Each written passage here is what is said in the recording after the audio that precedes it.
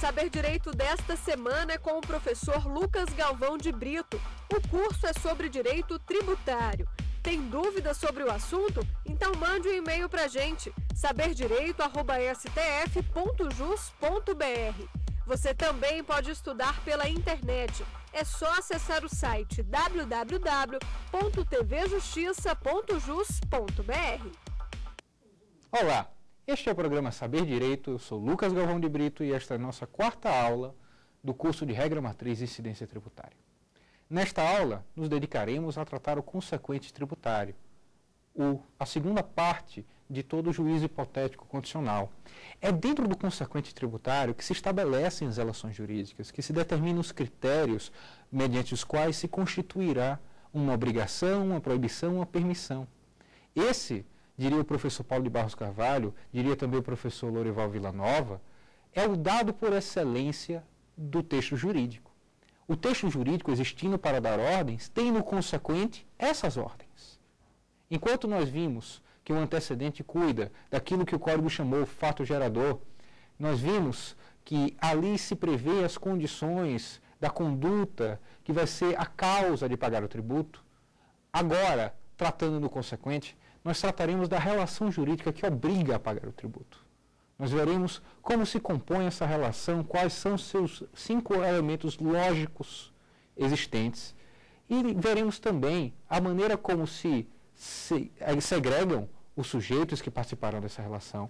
Veremos o modo como o critério quantitativo vai mensurar essa relação jurídica e vai servir também de índice comparativo para que nós possamos oferir se um tributo foi instituído corretamente.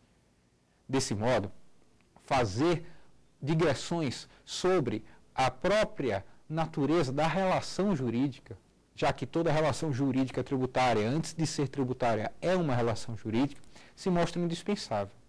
Nós fizemos isso algumas aulas atrás, quando falamos que as relações jurídicas têm cinco itens que são logicamente necessários em toda e qualquer relação jurídica. Um sujeito ativo, um sujeito passivo.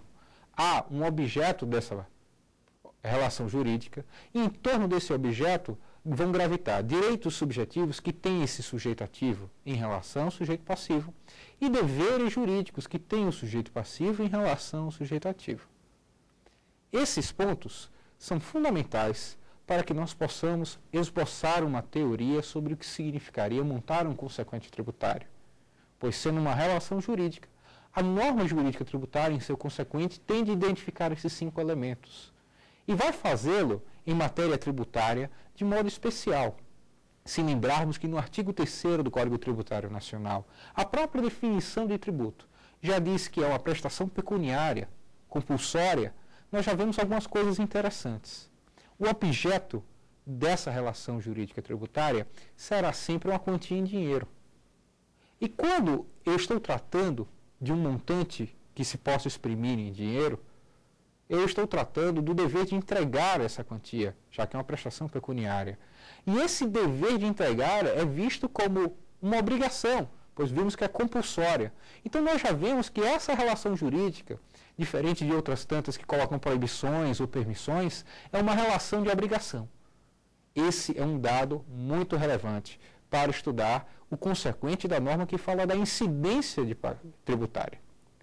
Isso é muito importante porque não se pode confundir dois tipos de relações que a legislação tributária prevê no Código Tributário Nacional. Se nós atentarmos lá no 113 do Código Tributário, nós vamos ver que as obrigações, diz lá, podem ser principal ou acessórias. Uma obrigação principal é precisamente essa obrigação de pagar o tributo ela deriva da ocorrência do fato gerador, ou como nós vimos na aula 2, mais precisamente da constituição da norma jurídica que protocola a incidência.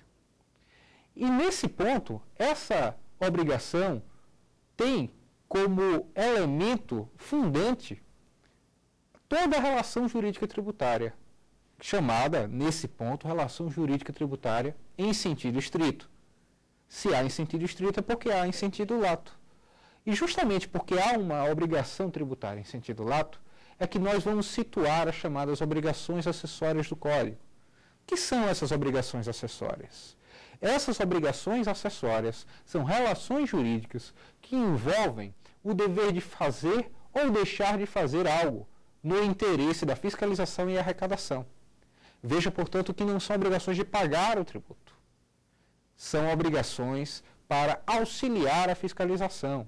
São fazeres ou não fazeres.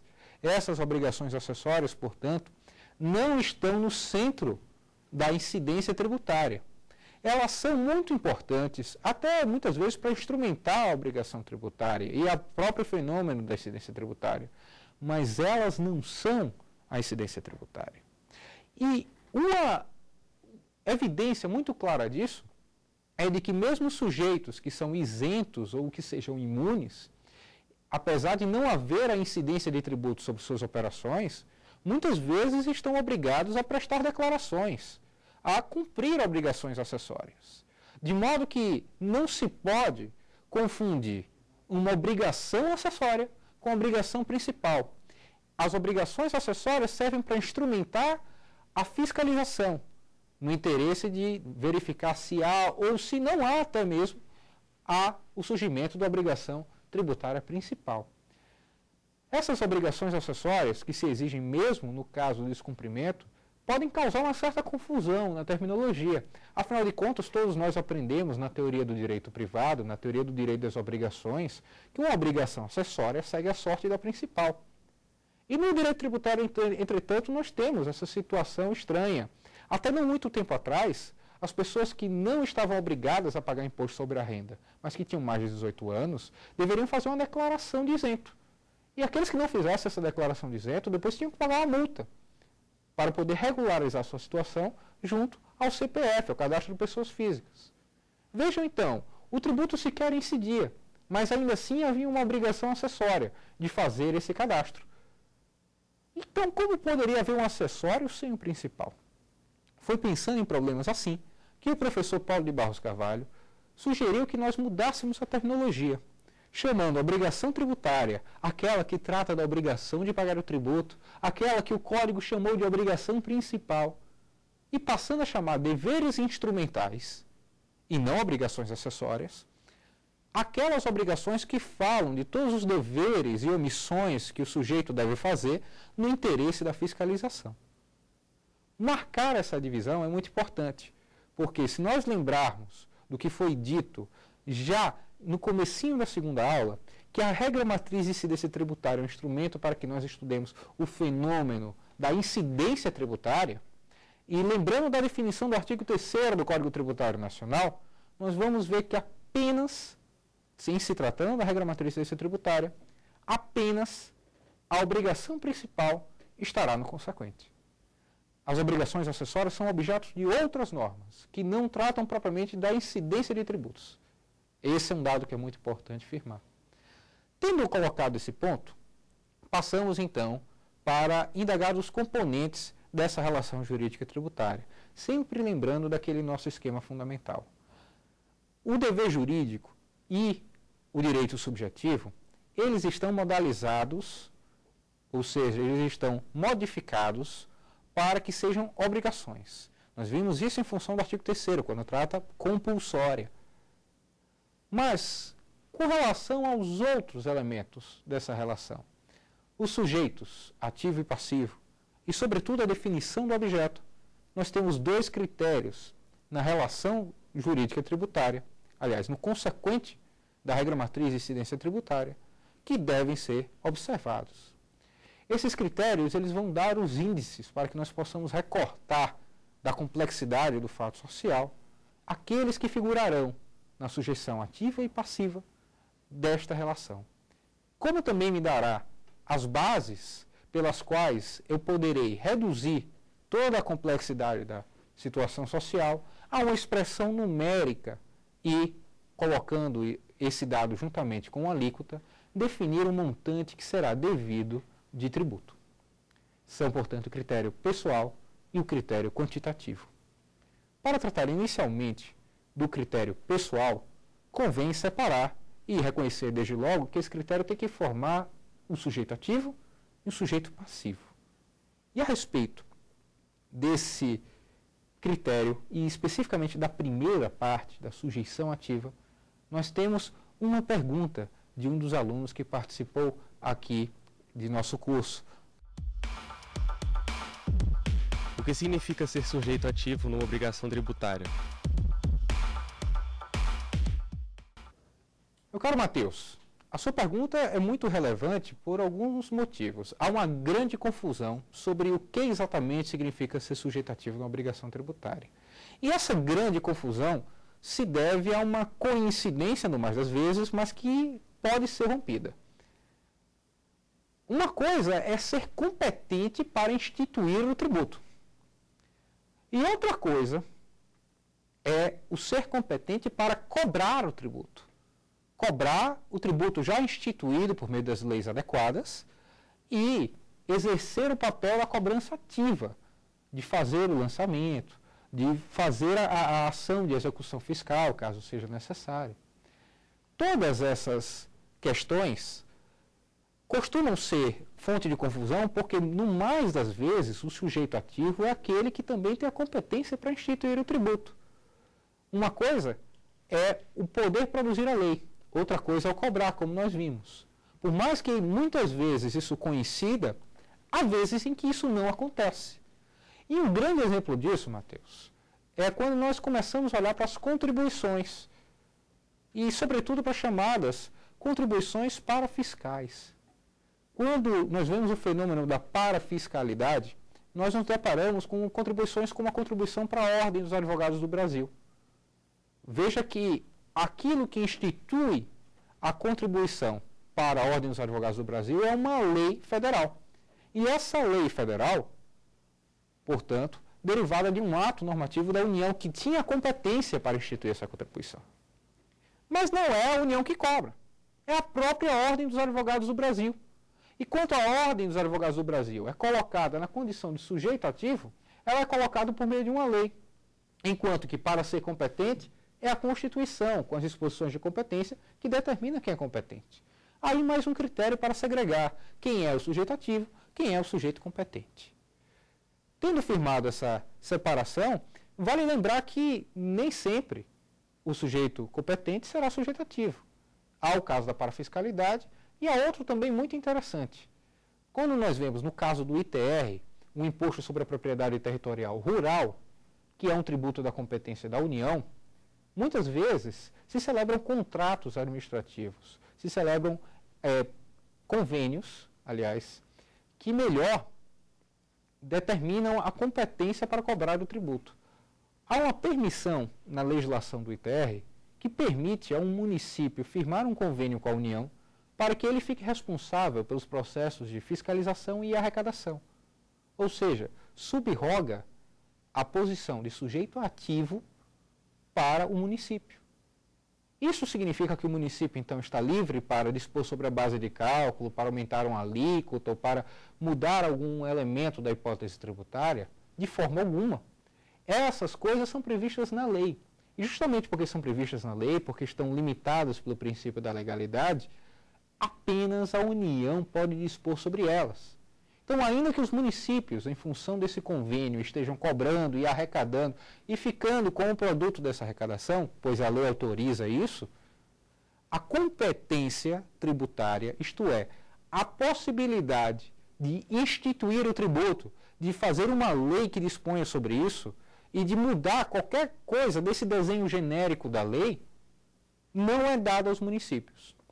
Apenas aptidão para figurar, figurar no polo ativo de uma relação jurídica tributária, que é precisamente isso que significa ser sujeito ativo de uma relação jurídica tributária.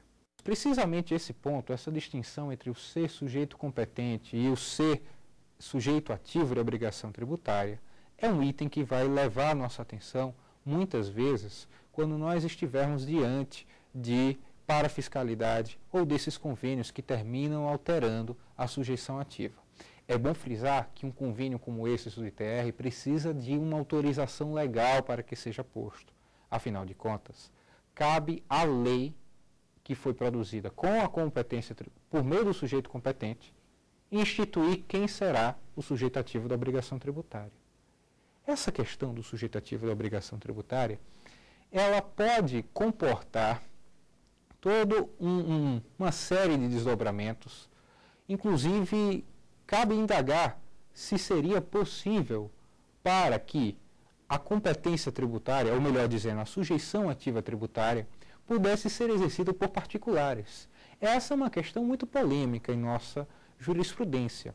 Há tribunais que acreditam que a, a sujeição ativa tributária somente pode ser exercida pelas pessoas de direito público, ou pelas autarquias, ou por essas entidades que têm um caráter parafiscal explicitado na lei. Há, porém, situações em que ficam numa margem de penumbra se as cobranças têm ou não natureza tributária. É o caso do pedágio, por exemplo. Mais das vezes, a sujeição ativa, caso, caso entendamos que o pedágio é um tributo, é exercida por uma concessionária, uma pessoa jurídica de direito privado. A doutrina vai se dividir a respeito se é possível ou não é possível fazer esse tipo de delegação da cobrança em função do que dispõe o final do artigo 3 do Código Tributário Nacional, cobrada por atividade administrativa plenamente vinculada. Um entendimento que permite que as pessoas de direito privado exerçam essa função de sujeito ativo na cobrança de tributos faz com que essa cláusula tenha que deva ter uma interpretação ligeiramente modificada. Não no sentido de que vai ser somente a administração, naturalmente, que poderia promover essa cobrança, mas de que o particular, quando atua nesse trabalho de arrecadar tributos, atua ele também como um agente da administração. Essa é uma interpretação que parece ser muito condizente com o nosso ordenamento jurídico, ainda mais quando levamos em conta que pessoas de direito privado podem ser consideradas responsáveis por atos de improbidade administrativa, quando exercem funções que deveriam ser exercidas pela administração ou em conjunto com a administração. De modo que, se a lei prevê a possibilidade de uma pessoa figurar, ainda que seja até uma pessoa física, figurar na condição de sujeito ativo, essa pessoa teria a capacidade para colocando-se como titular de direito subjetivo para fazer a cobrança, promover inclusive as ações judiciais necessárias a cobrar aquele crédito tributário. Tendo falado, então, algumas considerações relevantes sobre a sujeição ativa, passamos ao tópico da sujeição passiva. Este, sim, comporta uma série de desdobramentos muito importantes para o estudo da matéria tributária. No mais das vezes, as discussões judiciais não tratam tanto da sujeição ativa, mesmo porque as leis dificilmente explicitam isso. E nessa situação de, quem, de não explicitar-se quem é aquele titular da sujeição ativa, nós devemos supor que é o sujeito que tem a competência tributária. Colocando então nosso, a nossa atenção sobre a sujeição passiva, vamos trabalhar algumas figuras e sobre isso, um dos alunos fez uma pergunta que gostaríamos de ver agora. Qual a diferença entre contribuinte, responsável, substituto e substituído tributário? Pedro, essa pergunta ela é extremamente relevante porque são as figuras que tomam os nossos noticiários quando se trata de discussão tributária. Nós falamos muito é, frequentemente de quem são os contribuintes do imposto sobre a renda. Nós falamos em substituição tributária no ICMS, isso consegue a matéria dos nossos periódicos. Há questões de responsabilidade tributária e, sobretudo, até em função da diluição dessas palavras e nos noticiários, nós percebemos que não há uma precisão muito grande quando as pessoas falam normalmente sobre esses termos. Se nós lembrarmos do artigo 121 do Código Tributário Nacional, nós vamos ter um critério interessante para separar quem é o contribuinte, quem é o responsável tributário. Lá no artigo 121 do Código Tributário Nacional, no inciso 1, define-se o contribuinte como aquele que, tendo a relação direta com o fato gerador da obrigação tributária, é chamado a adimplir essa obrigação. Então, esse ter uma relação direta com o fato gerador da obrigação tributária é o critério que é utilizado para definir quem é o contribuinte. Mas e aqueles que não têm relação direta? Aqueles que não têm relação direta são os responsáveis. É o caso do inciso 2 do artigo 121 do Código Tributário Nacional. Os responsáveis tributários, eles são chamados a responder por uma obrigação tributária não por terem praticado o fato gerador, não por terem praticado a conduta descrita na hipótese tributária, mas por terem praticado ou deixado de praticar uma conduta diversa. E essa conduta diversa, diferente da situação do fato gerador da obrigação tributária, é a conduta que é o fato ensejador da responsabilidade tributária. É, por exemplo, a situação de alguém que, ao comprar um imóvel, vai ao, ao cartório e o tabelião, esquecendo-se de conferir a guia de pagamento, é chamado a responder pelo pagamento do tributo. Mas vejam que o tabelião não comprou, não vendeu o imóvel. Ele é chamado a responder porque deixou de praticar um certo ato. É o caso também que nós vamos ter quando um sócio ele atua com excesso de poderes ou infração à lei e em função disso é chamado a responder por um, pelo tributo de um ato que teria sido praticado pela empresa. E desse modo, a causa de pagar o tributo não é mais o ter uma relação direta com o fato gerador, mas o ter praticado um fato diverso. O que, é que isso informa para a regra matriz de incidência tributária? Isso informa para a regra matriz de incidência tributária o seguinte: esses sujeitos, os responsáveis, não estão compreendidos no critério pessoal sujeito passivo da regra matriz de incidência tributária. Isso porque a norma que dá ensejo à sua responsabilidade é outra. Lembrem que a regra matriz de incidência tributária está interessada em descobrir, desvelar, montar, e nesse sentido não é uma mera descoberta, mas uma verdadeira criação, de organizar todo o material da norma jurídica que fala da incidência de tributos. E não da norma jurídica que atribui a um terceiro a responsabilidade por um tributo constituído em função de um ato de outra pessoa. Essa condição nos autoriza a definir sujeito passivo na regra matriz de incidência tributária como o contribuinte e apenas o contribuinte. Se ele pode, por algum motivo, um sujeito, ser chamado a responder, a norma que precisa incidir para chamar a sua responsabilidade não é mais a regra matriz tributária, mas a norma de responsabilidade. E justamente porque precisa essa norma de responsabilidade incidir, será necessário que as autoridades responsáveis pela cobrança desse tributo procurem produzir as provas necessárias para justificar essa cobrança.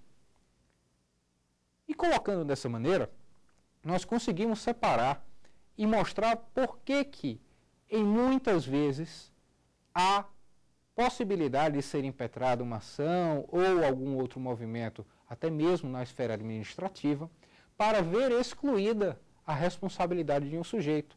E que isso não afete diretamente a cobrança do tributo principal. São duas normas jurídicas distintas. Uma colocando a responsabilidade tributária, outra colocando a condição de contribuinte. Tomar consciência disso é muito importante para que nós não misturemos as duas incidências e não misturemos o material probatório que precisa ser produzido e que precisa ser verificado para chancelar essas duas normas. Uma condição interessantíssima é a condição de substituto tributário. Existem alguns tipos de substituições tributárias. Um primeiro tipo de substituição tributária é a chamada substituição para trás.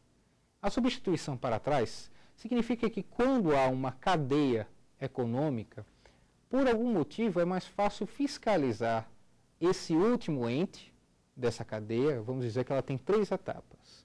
É mais fácil fiscalizar o terceiro sujeito dessa etapa do que todas as operações anteriores. Então vocês veem logo que esse é um tributo, é, essa é uma condição, a substituição tributária, muito feita às tributações sobre o consumo, muito feitas a essas possibilidades em que eu tenho um tributo incidindo em cada uma das operações. Quando eu resolvo fazer a tributação concentrada, toda nessa última cadeia, eu coloco esse sujeito na condição de substituto dos demais sujeitos que participaram dessa cadeia anteriormente. E esses sujeitos que não participaram da cadeia anteriormente, eles não pagam o tributo, pois o tributo será todo recolhido por este último sujeito aqui no fim da cadeia. Não significa, e eu repito, que esses sujeitos nas etapas anteriores estejam dispensados de fazer as chamadas obrigações acessórias, como nós vimos ao chamar de deveres instrumentais, e para chamar atenção para esse caráter, não é necessário que eles estejam obrigados a pagar tributo para que façam o cumprimento dos deveres instrumentais. Quando nós tratamos então desse fenômeno, a doutrina vai chamar substituto e substituídos. Essa, porém, é uma questão que merece uma atenção maior. Se nós formos um pouco adiante e olharmos objetivamente para o que acontece com o substituído, nós vamos chegar a uma conclusão muito importante. E a conclusão muito importante é a seguinte: o substituído não participa da relação jurídica tributária em sentido estrito, da obrigação principal, da obrigação de pagar tributo. Ele não está obrigado a pagar tributo. Nesses casos, ele sequer pode ser polo passivo de uma ação de execução fiscal. Apenas o substituto teria a possibilidade de ingressar numa ação fiscal como réu. E nesse ponto, cabe perguntar: haverá obrigação tributária, obrigação principal, para o substituído? E a resposta parece ser não. De modo que o substituído, ele só é alguma coisa, na verdade, no momento pré-legislativo, em que se decidiu que sobre ele não recairia o tributo. Depois, ele é irrelevante para fins da incidência do, do tributo. Então vejam que interessante. Quando eu tenho uma substituição tributária, todo o ônus de pagar o tributo, como também a possibilidade de entrar em juízo na condição de réu na ação fiscal, recai sobre a figura do substituto tributário e não do substituído. Se nós levarmos em consideração todas as operações em que há substituição tributária e percebermos quem é o sujeito passivo, isto é, aquele que deve ficar como o sujeito passivo na relação da cobrança do tributo, nós vemos que o substituído jamais se encontrará nessa situação. Apenas o substituto e haverá apenas uma incidência, e não incidências para os substituídos, mas apenas a incidência do substituto. É por esse motivo que nós podemos, com alguma tranquilidade mesmo, afirmar com o professor Paulo Barros Carvalho que o substituto, na verdade, é o único contribuinte nessa relação jurídica tributária. E vejam que a relação que se coloca para ele é uma relação direta com o fato gerador, pois as provas do fato gerador serão suficientes para fazer a cobrança integral em sua pessoa. Desse modo, a figura do substituído ela deixa de ter relevância para fins da incidência do tributo.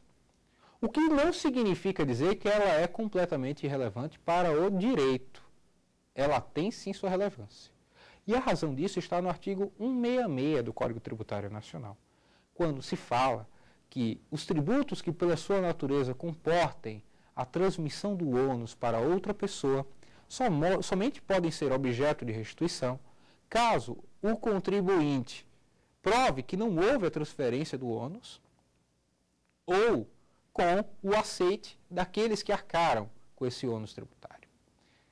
Então, vejam que o substituído ele tem sim sua relevância, só não é uma relevância para fins da regra matriz de incidência tributária há uma discussão muito interessante que acontece a propósito desse artigo 166 e da própria definição da figura de contribuinte, que é a distinção entre o contribuinte de fato e o contribuinte de direito. O contribuinte de fato disse todo aquele que é responsável por arcar financeiramente com o tributo, independentemente de ter sido colocado na norma jurídica tributária como contribuinte do tributo. Então, quando qualquer um de nós vai numa loja de supermercados e compra determinados produtos, nós arcamos com o ônus financeiro, vamos dizer, do ICMS.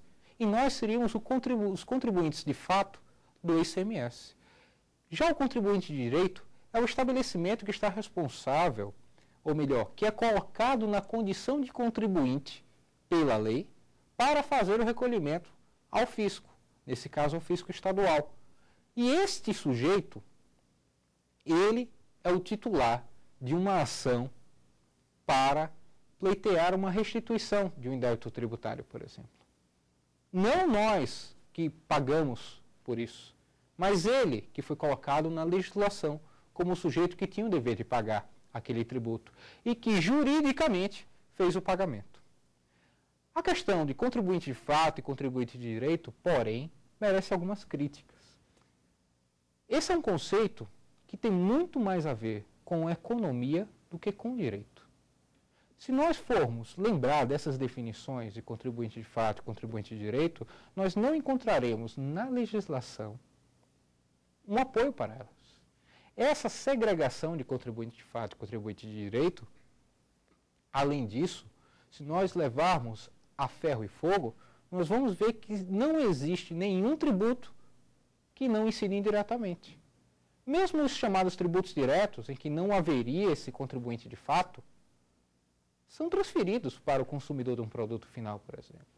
Aquilo que nós pagamos por qualquer produto que adquiramos envolve também o custo que a empresa teve com o imposto sobre a renda dela, por exemplo. E ninguém fala que imposto sobre a renda tem contribuinte de fato, contribuinte de direito, apenas contribuinte de direito. Então a figura do contribuinte de fato é de duvidosa aplicabilidade dentro do direito tributário. E, no entanto, é uma figura a qual a, a doutrina recorre incessantemente. Trata-se de um elemento que parece estranho às categorias e cuja utilidade para fins de incidência normativa é nenhuma. De modo que nós podemos dizer também que na regra matriz de incidência tributária apenas existe o contribuinte de fato e não o contribuinte de direito. Desse modo, nós avançamos e falamos algumas coisas muito importantes a respeito dos sujeitos passivos. Vale lembrar a pretexto do que falei na última aula sobre o antecedente da regra matriz desse tributária, que o sujeito passivo tem uma relação umbilical com o fato jurídico tributário, com a hipótese tributária, o fato gerador. É justamente por ter essa relação com o fato gerador da obrigação tributária que deve ter uma conexão na escolha do sujeito passivo com o negócio jurídico praticado que deu origem a incidência do tributo, aquele, aquela conduta descrita ali no antecedente tributário. De modo que nós conseguimos perceber, mais uma vez, a relação que existe entre os critérios do consequente com os critérios do antecedente. E, desse modo, aquilo que nós podemos reter dessa relação vai se ampliando não é apenas uma relação de causalidade, mas é uma relação de unidade entre os critérios da regra matriz, que devem contribuir uns com os outros para explicitar e recortar da melhor forma possível o critério, o, os critérios da relação jurídica que está sendo objeto da tributação. Se nós retivermos isso, nós passamos a compreender por que vários doutrinadores dizem que o direito tributário é um ramo de superposição, isto é, que se coloca por em cima dos conceitos de direito privado, que são os negócios jurídicos que geram os, as manifestações de riqueza tributadas, para deles recortar certos elementos e criar a obrigação de pagar tributo. Então vejam que o direito tributário, até por essa condição, não pode simplesmente ignorar as definições de direito privado. Isso, aliás, fica registrado no artigo 110 do Código Tributário Nacional. Não se pode escolher qualquer pessoa aleatoriamente para ser contribuinte. É necessário que ela tenha uma relação com o negócio jurídico objeto da tributação. Então, se é, por exemplo, um contrato de compra e venda, não se pode colocar um locatário para pagar o tributo correspondente a essa transação. Deverá ser uma das pessoas envolvidas no negócio jurídico de compra e venda. Qual delas? Aquela que a legislação definir. Então vejam que é sempre um recorte em cima de uma relação jurídica feita na linha do direito privado. E essa tal relação jurídica feita na linha do direito privado comporta já um primeiro limite ao exercício das competências tributárias, ao exercício da competência para produzir os enunciados que delimitarão os critérios da regra matriz de incidência tributária.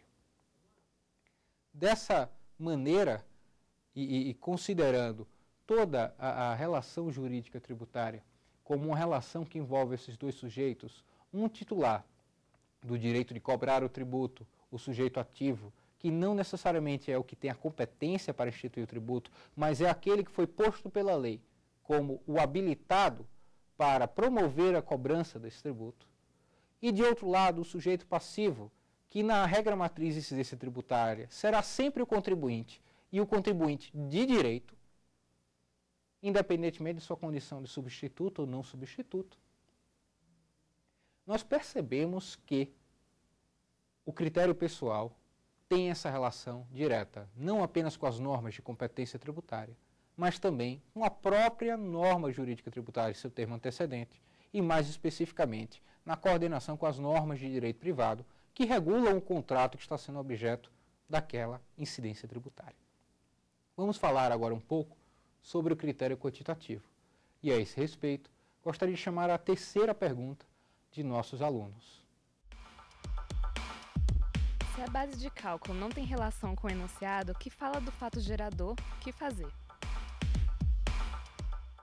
Cara Mariana, a sua pergunta é muito interessante por, pelo seguinte motivo. Ela nos permite identificar uma relação que desde uh, algumas teorias mais antigas dentro do direito constitucional se tem chamado a atenção. Se nós olharmos atentamente para a nossa Constituição, nós vamos ver que as materialidades, isso já foi objeto da aula passada, muitas vezes vai falar dos complementos no critério material da regra matriz de tributária. Vai falar, por exemplo, que a União tem competência para instituir tributos sobre produtos industrializados, que os municípios sobre a propriedade territorial urbana, que vai falar também que a competência dos estados envolve a propriedade de veículos automotores. E vejam que todas essas coisas, elas, por mais que falem do complemento do critério material, terminam informando sobre quais bases pode-se cobrar o tributo. E, nesse momento, nós passamos a identificar aquilo que, dentro do critério, do critério quantitativo, se chama base de cálculo.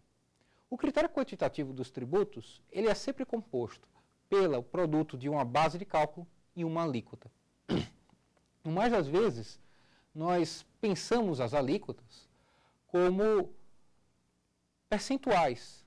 E é assim que elas se apresentam na maioria dos casos. Mas nem sempre. Há um caso muito curioso de um tributo da tradição holandesa, que inclusive permeou o Nordeste do Brasil, que tomava como base de cálculo para tributar uma propriedade urbana um número de janelas.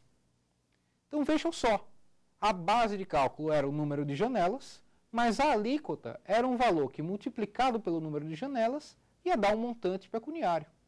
De modo que a alíquota nem sempre é um percentual, mas o produto da alíquota com a base de cálculo tende a resultar numa, num montante que possa ser expresso em moeda.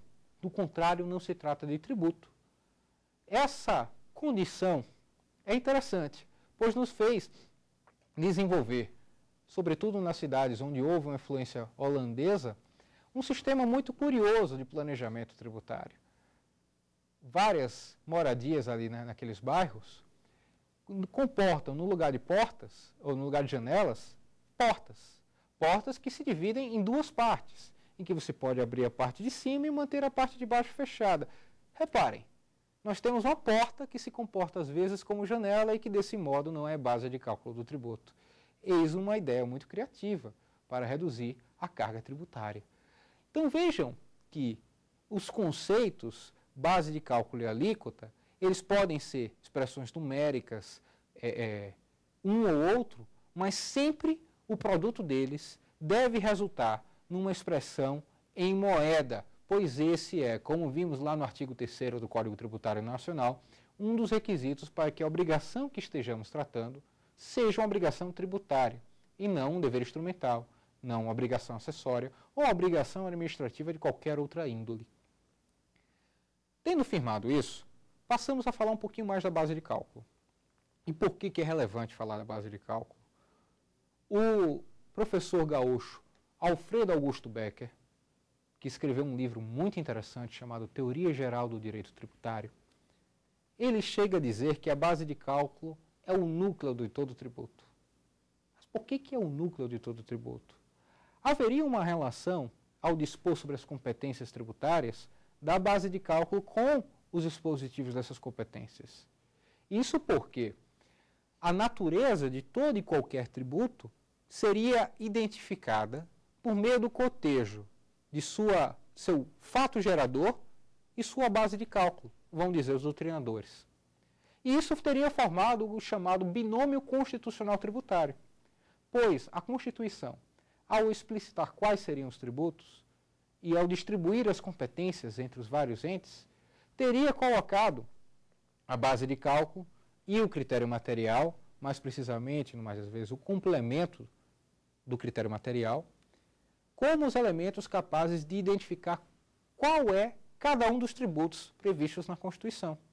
E vejam que, mesmo ao falar da competência residual, lá no artigo 154, inciso 1 da Constituição da República, disse que a União pode criar tributos desde que não tenham fato gerador ou base de cálculo próprios dos demais tributos previstos nessa Constituição.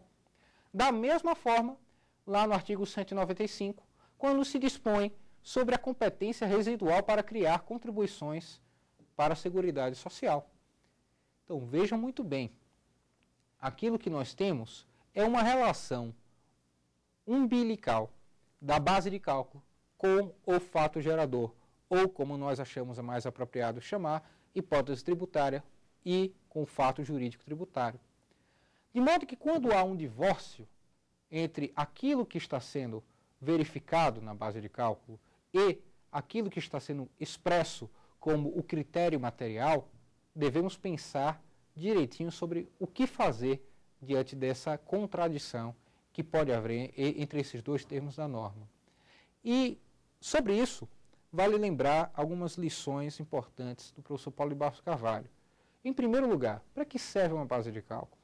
Uma base de cálculo serve para objetivar a tributação não vai se fazer incidir, por exemplo, na propriedade territorial urbana, em cima do apreço que o proprietário tem com aquela propriedade, mas vai se fazer em cima do valor de mercado daquela propriedade, ou do valor venal daquela propriedade, como é mais preciso dizer, em função das disposições do Código Tributário Nacional.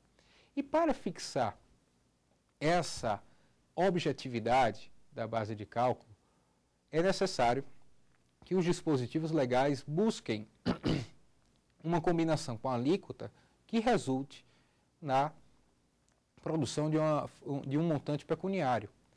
Para isso, a base de cálculo não apenas objetiva, mas quantifica a intensidade com que se realiza esse fato gerador.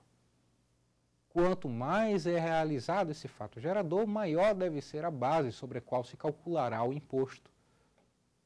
E essa relação da base de cálculo é muito importante porque há uma terceira função da base de cálculo, que é uma função comparativa. Eu devo comparar a base de cálculo com aquilo que está posto no critério material. E essa comparação da base de cálculo com aquilo que está posto no critério material vai resultar em uma dessas três possibilidades. Ou ela vai confirmar verificando que aquilo que está sendo medido na base de cálculo realmente é condizente com o que está no critério material, ou ela vai afirmar, porque muitas vezes o critério material ele é omisso na legislação e nós não conseguimos identificar ele até que nós vejamos a base de cálculo do tributo. Ou ele vai, e esse é o cerne de sua pergunta, infirmar, vai apresentar uma negação. E nesses casos, inclusive como reconhece a jurisprudência de nossas cortes, deve-se afirmar que prevalece a base de cálculo para afirmar, melhor, infirmando as disposições que tratam a respeito do critério material do tributo. Então, quando nós temos uma situação, como chegou a ser julgado em nossa Suprema Corte, de que um município passa a cobrar um adicional de IPTU de cada imóvel alugado dentro daquele município, nós percebemos que esse tributo ele deixa de ser um IPTU, pois o aluguel já não mensura quem é proprietário, já não mensura a intensidade com que se é proprietário. Ele passa a mensurar uma coisa que é o rendimento daquele imóvel. E rendimento, por sua vez, é algo que está na competência da União, lá no artigo 153 da Constituição, e não no 156 com a competência dos municípios. Desse modo, um tributo, como o que foi feito pela municipalidade lá no Rio Grande do Sul, que instituiu um adicional de IPTU sobre os imóveis alugados, calculado com base no valor do aluguel, seria inconstitucional, por violar a repartição de competências que limitou o trato da tributação sobre a renda para a União, tirando-a dos municípios. Então vejam bem, quando nós temos esse divórcio da base de cálculo com o critério material, devem prevalecer os enunciados da base de cálculo.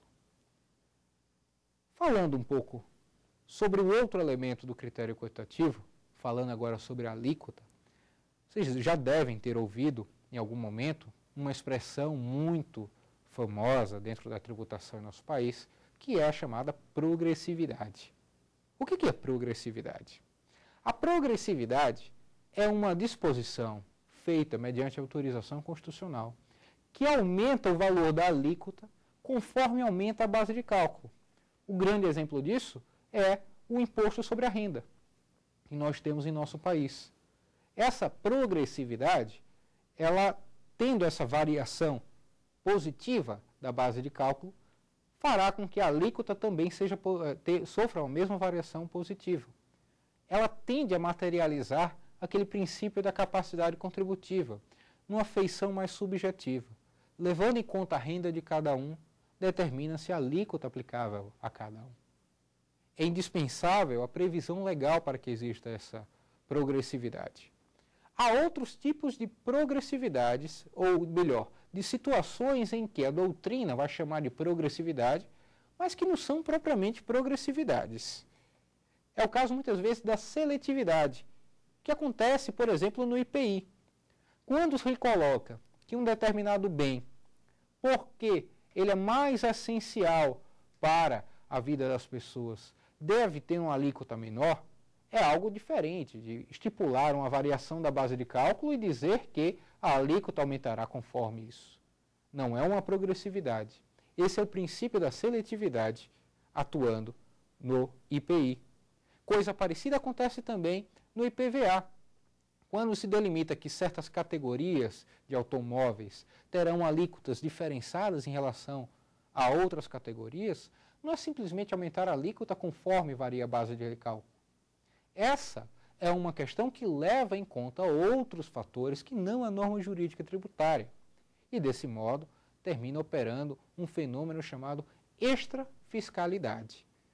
As alíquotas são um instrumento por excelência para operar a extrafiscalidade, de modo que nós temos que atentar para segregar a progressividade desses outros expedientes de extrafiscalidade para essa relação que deve haver de variação de alíquotas, conforme a base de cálculo ou conforme outros expedientes, como é o caso da progressividade do IPTU, que autoriza alíquotas maiores quando se trata de um imóvel que esteja desocupado por muito tempo.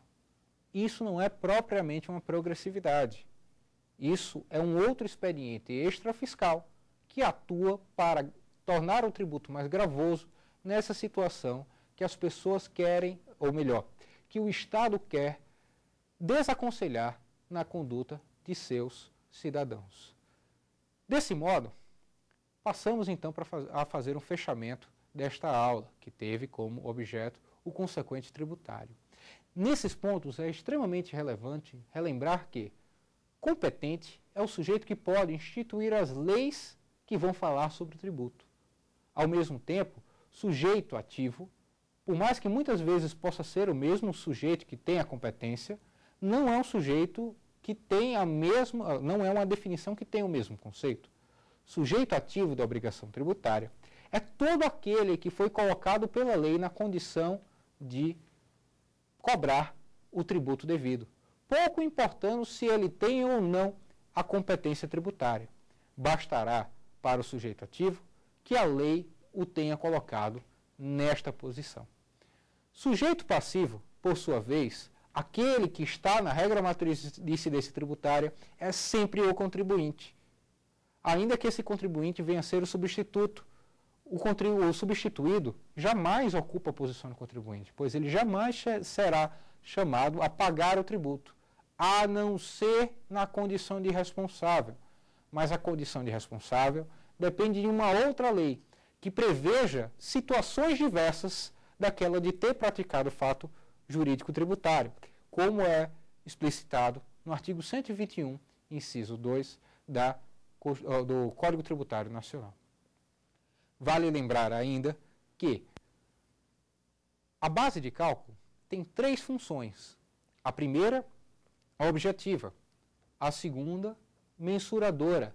E a terceira, confirmatória, para afirmar, confirmar ou infirmar o critério material que a lei diz que é suficiente para a incidência do tributo. E, finalmente, as alíquotas podem ser objeto de extrafiscalidade, de progressividade ou até mesmo de regressividade. Mas essa regressividade não é simplesmente a variação negativa da progressividade. É também ela um expediente de extrafiscalidade. Quando nós vemos a tributação dos investimentos ter alíquotas regressivas, a depender do quanto que o montante investido ficou dentro das aplicações, nós percebemos nitidamente que o interesse não é aumentar o tributo conforme a variação da base de cálculo, mas promover um interesse extrafiscal para além da arrecadação, como é o caso da manutenção da poupança pública. Então, agradecendo a atenção de todos vocês e já convidando-os para assistir a próxima aula, que tratará do porquê utilizar a regra matriz de incidência tributária, eu me despeço e até uma próxima.